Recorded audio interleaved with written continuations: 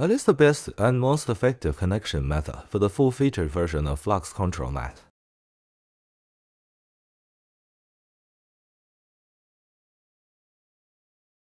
For example, this is the best way to connect. He perfectly utilized this, the fully functional model. One advantage of the control net model. Very accurately extracted an action of this character. Then on the left is the default connection method. It's very ineffective. I can't get this at all. Pause and even if you improve it, it's useless. These two settings are the same. This is a better way to test the workflow. To increase the difficulty, I also added a lot of LoRa. Because LoRa will affect his effect. But in this workflow, he perfectly demonstrates the accuracy of this model. A very precise control that can be understood. This one won't work here. So this is not suitable. Of course, it is still okay for normal use. But this workflow cannot play a role in this model. This determines the function of this model.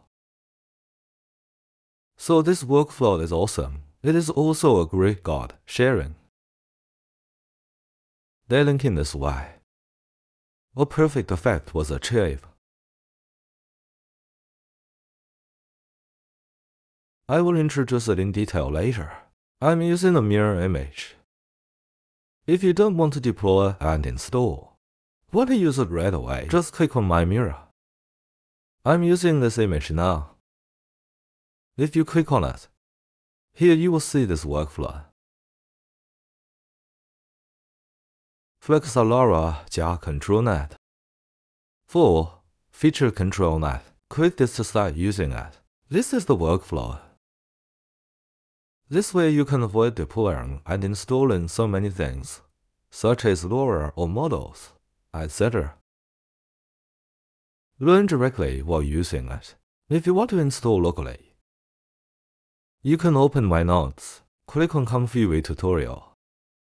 The second one is it. Here is a simple test hint. Download the model. There is also an introduction to workflow. There is also a workflow download. This is suitable for people who deploy locally. I recommend using it directly. Mirroring is ready to use. Okay, now let's describe this workflow in detail. Let me introduce this first, the default link method. This effect is very bad. These two parameters are exactly the same. Where parameters are exactly the same. But this one doesn't follow this at all, the poster. No matter how you change it, it's useless. He will make mistakes. This is the workflow. All that's missing is this node loader. It is completely different from loading this node here. This is not the default loading node. ConfigUS support this model. This node here is. This development is self-developed. On the contrary, the support is not very good. So this workflow is very bad. I can't control it at all. And this hand and other things are basically unusable. The rest is just the process of ordinary raw picture. This is not introduced.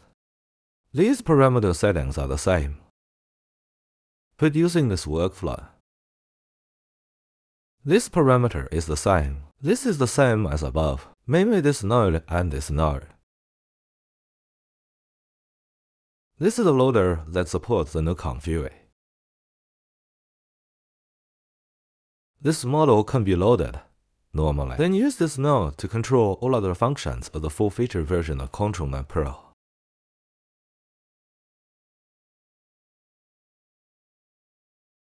He can precisely control the character's movements and so on. Very accurate. And even if I load so much LoRa, he also generated it very accurately. Everything is okay. Because I added LoRa. It is specially designed for hands and eyes, so he'll solve this problem. Also add skin detail. This various LoRa. There are also Chinese Hanfu. There are also image accurate details, etc. Of course, my main purpose here is to test the impact on it. Influence him in various ways. He can generate. He should have a function. So this workflow is really awesome. You can use it. Of course, everyone should remember. These prompt words, remember to use trigger words. You don't need to remember this, because I will record all the LoRa in detail here. Everyone can see every LoRa prompt you use. I won't read trigger words that are not necessary. I will read if necessary, and it's basically the best parameter control. This makes it easy for everyone to use it right away. Ordinary people can also use it. This workflow works. Directly change the prompt word, change the picture, just run a raw image. There is no learning threshold. Just learn while using it. For example, how to connect this. You will know its effect after using it more. He can change it anyway, this is basically the way he links. For example, I don't need this node to go here. There is no other node to replace it. So I won't introduce these structures.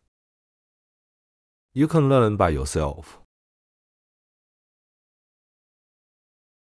Experience it. This is the loader. Others have little impact. The loader he provided officially before is not good. Replace him. Changing to the default loader is perfect. Okay, that's for this episode. Let's go play.